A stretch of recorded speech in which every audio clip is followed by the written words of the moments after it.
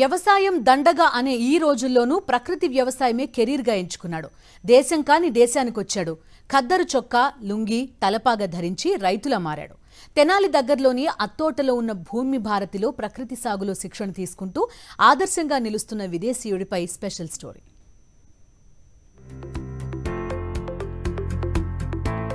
ఇతని పేరు యోగస్. నెదర్లాండ్స్ దేశానికి చెందిన ఇరవై నాలుగేళ్ళ రీసెర్చ్ స్కాలర్. ప్రకృతి వ్యవసాయంపై పరిశోధన చేస్తున్నారు. ఈ క్రమంలో ఏపీలో ప్రకృతి వ్యవసాయం అతన్ని ఆకర్షించింది. వెంటనే నెదర్లాండ్స్ నుంచి తెనాలిలో ప్రత్యక్షమయ్యారు. ఆంధ్రప్రదేశ్ రైతు సాధికార సంస్థ సూచనపై భూమి భారతి కేంద్రంలో ఉంటూ గత ఏడేళ్ళ నుంచి అక్కడ ఎర్రు బాపారావు నేతృత్వంలో కొనసాగుతున్న ప్రకృతి సాగులో శిక్షణ పొందుతున్నాడు.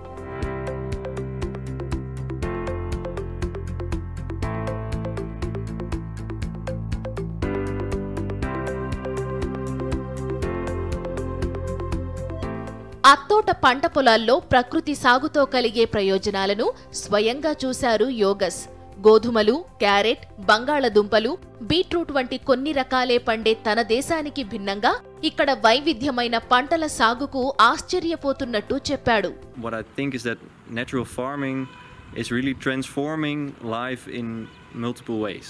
Um, so I spoke to some farmers who said their health was improving. I spoke to some other farmers that they need a lot less water, that they have a higher net income, a high cost reduction, uh, and on the other hand that they also need to work a little bit more. They have to, uh, yeah, they have to adjust to the new method. Um, so that's what I've noticed about um, uh, natural farming here in Atota.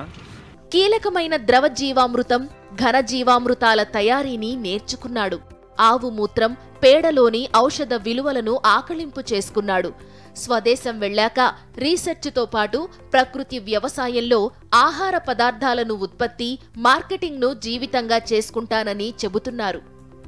వ్యవసాయానికి ఆదరణ తగ్గిపోతున్న ఈ రోజుల్లోనూ ప్రకృతి సాగుపై research చేస్తూ యోగస్ ఆదర్శంగా నిలుస్తున్నారు.